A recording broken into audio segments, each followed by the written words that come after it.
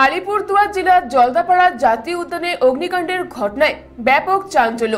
আগুন কীভাবে লাগল তা জানা যায়নি। আলিপুরদুয়ার জেলার জলদাপাড়া জাতীয় উদ্যানে ভয়াবহ অগ্নিকাণ্ড। জলদাপাড়া ইস্ট রেঞ্জ অন্তর্গত জাতীয় উদ্যানের জঙ্গলে আগুন নিয়ন্ত্রণে আনার জন্য প্রাণপ্রণে প্রচেষ্টা চালাচ্ছে বন দফতর। আগুন কীভাবে লাগল তা জানা যায়নি।